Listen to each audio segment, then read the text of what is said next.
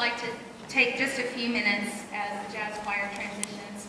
Um, I have so many people to thank. Um, Cheryl Barnes, my pianist, if she could come up quickly, please.